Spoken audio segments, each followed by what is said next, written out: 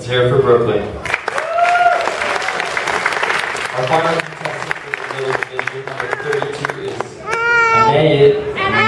Anais. Sorry about that. She's seven years old and her favorite food is cotton candy, and she grows up, she wants to be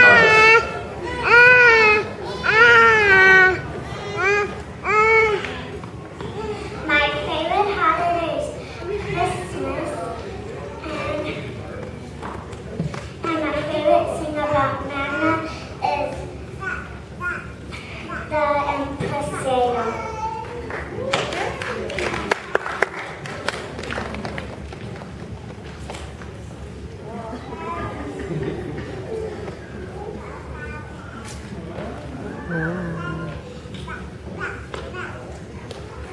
hear it for Brooklyn.